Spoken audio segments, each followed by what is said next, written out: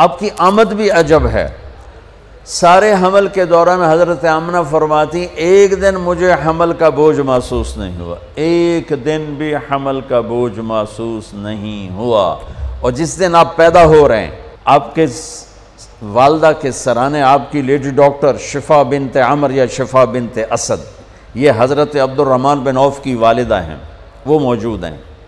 بچہ جب پیدا ہوتا ہے تو نو مہینے کی رکاوٹ ہوتی ہے تو بہت ساری گندگی ماں کے پیٹ سے نکلتی ہے جس کو آمول کہتے ہیں۔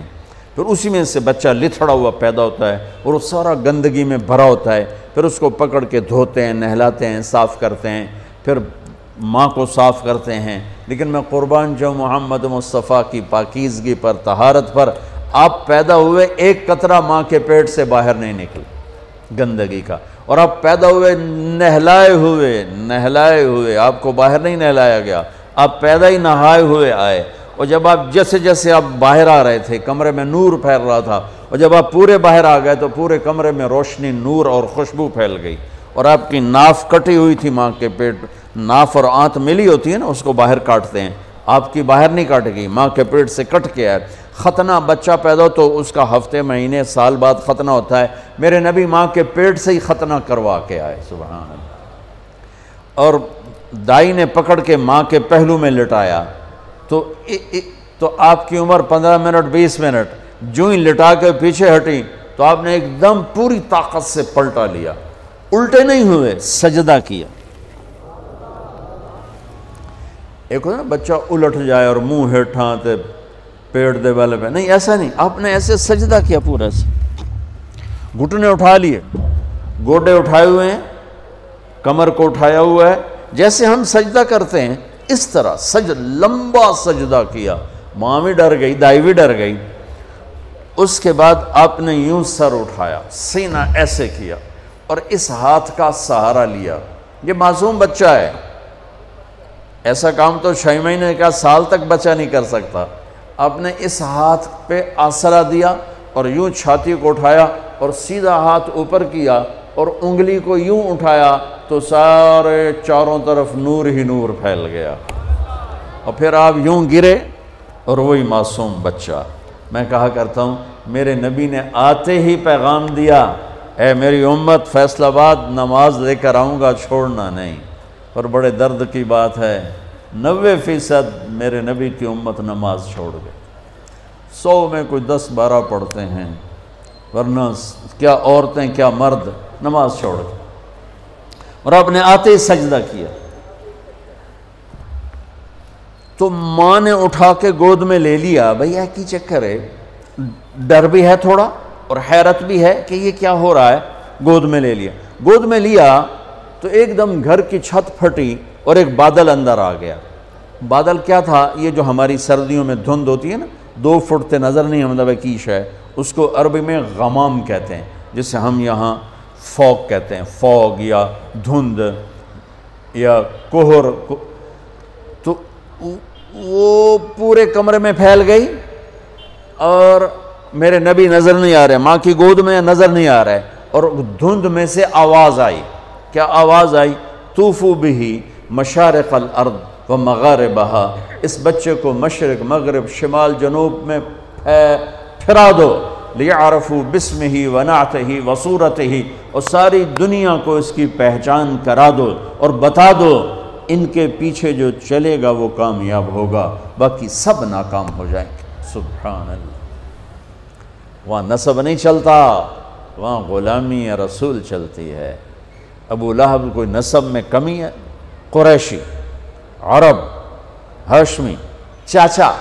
اللہ نے کہا، تبت جدا ابی لہب و تب، بلال حبشی، ابن حبشی غلام، ابن غلام۔ اور میرے نبی نے فرمایا، بلال،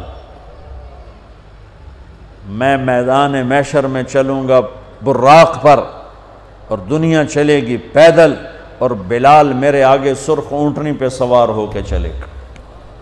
اور جب میدان حشر میں پہنچیں گے تو بلال اونٹنی پہ کھڑے ہو کے اذان دے گا۔ جب میں جنت میں جاؤں گا تو میری اونٹنی کی رسی بلال کے ہاتھ میں ہوگی جو پکڑ کے میرے ساتھ چلے گا۔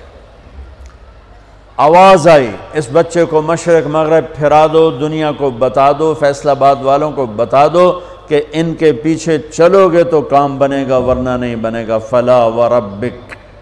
لا يؤمنون حتى يحكموك فيما شجر بينهم. اس کے بغیر کام نہیں بنے گا. اور سنو آگے کیا خوبصورت کلام آیا. آواز آئی. اسے آدم کے اخلاق دو. اسے شیس کی معرفت دو. اسے نوح کی بہادری دو. اسے ابراہیم کی دوستی دو. اسماعیل کی قربانی دو. اسے صالح کی فصاحت دو.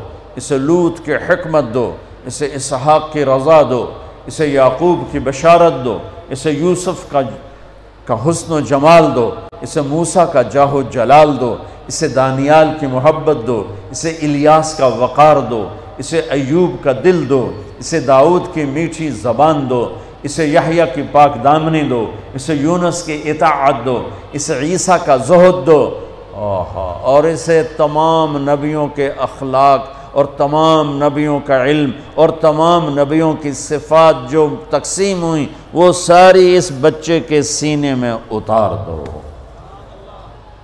جو بچہ آدھے گھنٹے میں ایک لاکھ چوبیس ہزار نبیوں کو جو ملا، لے لیا ہو اور پھر تریسٹھ سال آگے سفر کیا ہو، میں اسے بیان کروں گا یا اور دنیا میں کوئی بیان کرے گا؟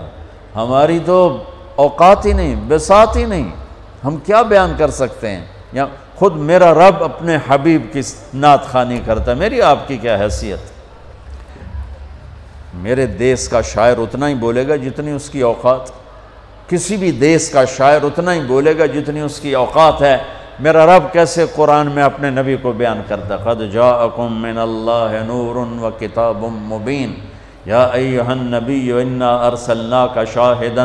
و مبشرا و نذیرا وداعین اللہ بزن ہی و سراجم منیرا یہ میرا رب اپنے نبی کی نعت خانی کر رہا ہے یا ایہا المزمل قم اللیل الا قلیلا نصفہ اوین قس منہ قلیلا او زد علیہ ورتل القرآن ترتیلا، یا ایہا المزب یا ایہا المدثر، قم فانذر، وربک فکبر، وثیابک فطاہر، والرجز فہجر ولا تمن تستکثر، ولربک فاصبر. محمد الرسول اللہ والذین معه اشدع للکفار رحماء بینہم، تراہم رکعن سجدہ یبتغون فضلا من اللہ ورضوانا صرف آپ نہیں، آپ کے صحابہ کی تعریف کر رہا ہے۔ کہ اس کے جو ساتھی ہیں وہ کیا کیا صفات والے ہیں پھر آپ کے گھر کی تعریف کر رہا ہے، انما جرید اللہ لیوذم عنکم الرجس اہل البیت ویطاہرکم تطہیرا۔ ابراہیم علیہ السلام دعا مانگ رہے ہیں، وجنبنی وبنی ان نعبد الاسنام یا اللہ، مجھے اور میری اولاد کو بت پرستی سے بچا۔ اللہ اپنے نبی کے گھر کو کہہ رہا ہے ویطاہرکم تطہیرا۔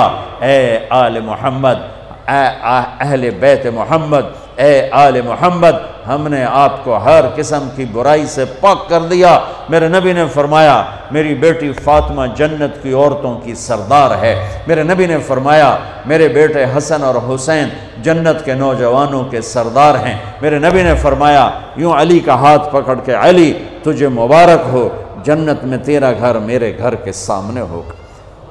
ابراہیم علیہ السلام یہ دعا کر رہے ہیں، اور میرے اور میری اولاد کو بچا بت پرستی سے، اور اللہ اپنے حبیب کے گھر کی پاکیزگی کے اعلان کر رہا ہے، اعلان کر رہا ہے۔ یہ میں آپ کو بتا رہا ہوں کہ میرا رب قرآن میں اپنے نبی کو کیسے بیان کرتا ہے؟ براءتم من اللہ و رسول ہی ادان من اللہ و رسول ہی تو منون بلّہ و رسول ہی آمنو بلّہ و رسول ہی میں یعص اللہ و رسول میں یحادد اللہ و رسول میں یشاقق اللہ و رسول سیوتین اللہ من فضلہ و رسول لا تخون اللہ والرسول، فلا اقسم، فلا والنجم اذا ہوا۔ والنجم إذا ہوا ما ضل صاحبكم وما غوا وما ينطق عن الهوى إن هو إلا وحي يوحى علمه شديد القوى ذو مرة فاستوى وهو بالأفق الأعلى ثم دنا فتدلى فكان قاب قوسين أو أدنى فلا أقسم بما تبصرون وما لا تبصرون إنه لقول رسول كريم وما هو بقول شاعر قليلا ما تؤمنون ولا بقول كاهن قليلا ما تذكرون. تبارك الذي نزل الفرقان على عبده ليكون للعالمين نذيرا والضحى والليل إذا سجى. ما ودعك ربك وما قلى وللآخرة خير لك من الأولى. ولسوف يعطيك ربك فترضى. فلا وربك لا يؤمنون حتى يحكموك فيما شجر بينهم. ثم لا يجدوا في أنفسهم حرجا مما قضيت. ويسلموا تسليما. ألم نشرح لك صدرك ووضعنا عنك وزرك الذي أنقض ظهرك ورفعنا لك ذكرك. إنا أعطيناك الكوثر. فصل لربك وانحر. إن شانيك هو الأبتر. یہ نعت خانی ہے میرے اللہ کی اپنے نبی کے لیے. یہ میرے اللہ کی نعت خانی. ہاں ہاں ہاں سبحان اللہ میں نے ترجمہ نہیں کیا کہ بس تم صرف سننے کا مزہ لو کہ میرے اللہ نے اپنے حبیب کو کیسے بیان کیا. کس طرح بیان کیا؟ میں جب بھی جاتا ہوں روزہ مبارک پر تو سلام پیش کرتا ہوں تو پوری پیڑھی پڑھ کے سلام پیش کرتا ہوں۔ محمد بن ابیا السلاۃ والسلام علیک یا رسول اللہ بن عبداللہ بن عبد المطلب بن ہاشم بن عبد المناف بن قسی بن قلع بن مرہ بن کعب بن لوی بن غالب بن فار بن مالک بن نظر بن معاد بن عدنان۔ آخر تک ساری پیڑھی پڑھ کے سلام پیش کرتا ہوں۔ یا رسول اللہ، آپ کا مراسی بن کے زندہ رہنا چاہتا ہوں۔ اور آپ کا مراسی بن کے مرنا چاہتا ہوں۔